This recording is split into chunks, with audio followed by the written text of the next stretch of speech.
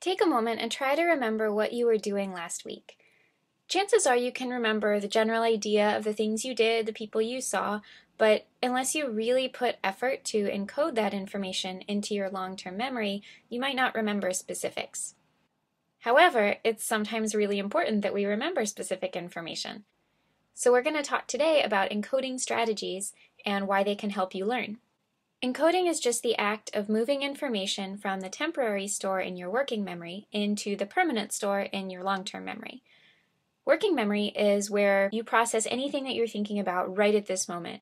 However, it has a limited capacity. It can only hold 7 plus or minus 2 pieces of information at a time. If you want to remember more than 7 things, you're going to need to process that information in a way that makes sure it gets into and stays in long term memory so that you can retrieve it later. So, the first technique I want to tell you about is rote rehearsal. And this is what everybody does, but unfortunately, it's the least effective encoding technique. What rote rehearsal is, it just means you say the same thing over and over again. So, like you get introduced to someone at a party and they tell you their name is Bob, and you say, okay, I'm going to remember this person's name by just thinking about it and saying it over and over Bob, Bob, Bob. And if you've ever tried this, you know it's probably not effective because after you actually have a conversation with this person and you're not thinking about their name for a while, you try to remember it later and you can't. The reason for that is that rote rehearsal is not really an effortful technique. It doesn't require you to process the information. You just have to repeat it over and over. So there's nothing that your brain is doing to get it into long term memory. Successful encoding techniques usually involve tying in the new information into previously known information. And one way to do this is called chunking. And by chunking, we actually group the information that we're getting into meaningful units. So this ties it into maybe meaningful categories that we already know.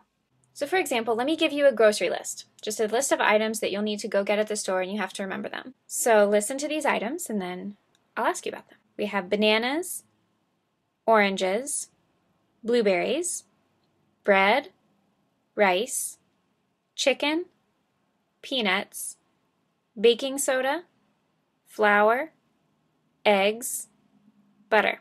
All right, so those are the items you're going to have to go get at the store. Just take a second to think of or write down all the items from that list that you can remember.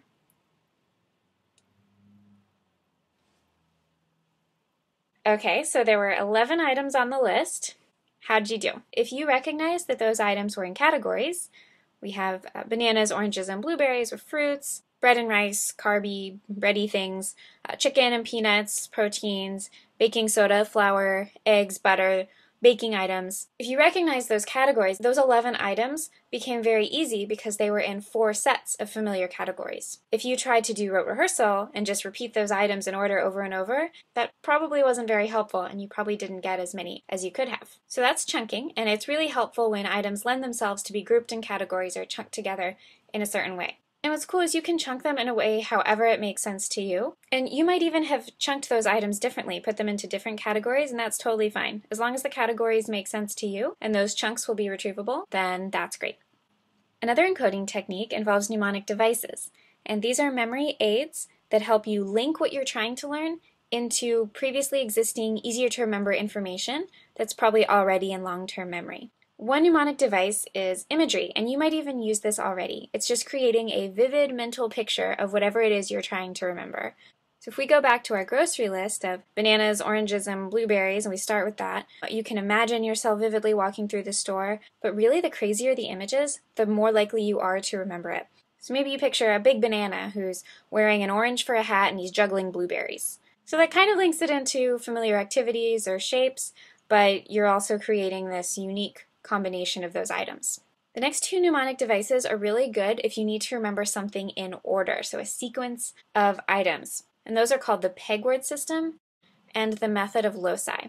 Both of those really just involve making anchors and linking your new information to those anchors along a specific path. For example, the pegword system is more verbal anchors. So you start with words that rhyme with the number. So you say one is a gun, two is a shoe, three is a tree, and so forth and so on. And you have that set list.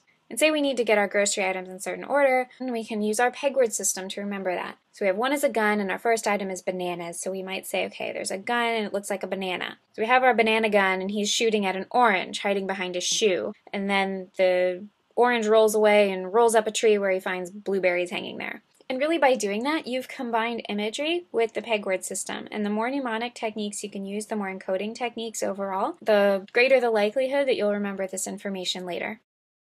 The method of loci is really similar to the peg word system, except it involves using locations instead of verbal anchors. So maybe if you have a familiar walking route or bus route or, or anything, then you can tie the information that you need to remember to certain stops along that route. So like maybe there's bananas raining down at the bus stop I get on, and then and the next stop an orange rolls onto the bus. And the next stop I see a cat with a blueberry hat or something like that. So again, we're combining a couple mnemonic techniques, which is awesome, and we're connecting information that we already know, such as a familiar route, to the new information that we want to learn. The last mnemonic technique I want to tell you about is an acronym. And this is when one letter of a familiar word stands for the first letter of the new information. So, like a really popular one is the acronym HOMES for the Great Lakes in the US.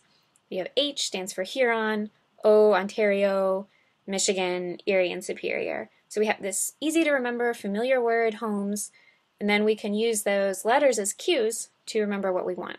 That one's kind of fun because you can make up your own acronyms and those, those can be really memorable. So moving on into increasingly useful encoding techniques, self-referencing is really great. This is just when you think about the new information and how it relates to you personally. So if you're trying to learn something about history, you might imagine yourself talking to the general or marching into battle with the troops or anything about how the information relates to you and how you could use it.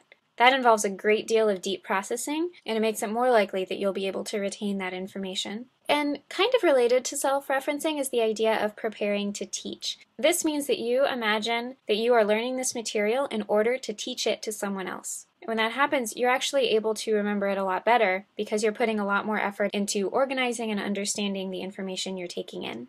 The last technique I want to tell you about is spacing. So, this is a little bit different than the other ones. The other techniques involve what you do while you're already studying, but spacing involves how you structure that studying. Spacing means that you should spread out your study sessions over time rather than cramming them all into one massive study session. This is kind of unintuitive because a lot of people think that if you have five hours to study, then you should do it all at once right before the test so that it's fresh in your mind to take the test.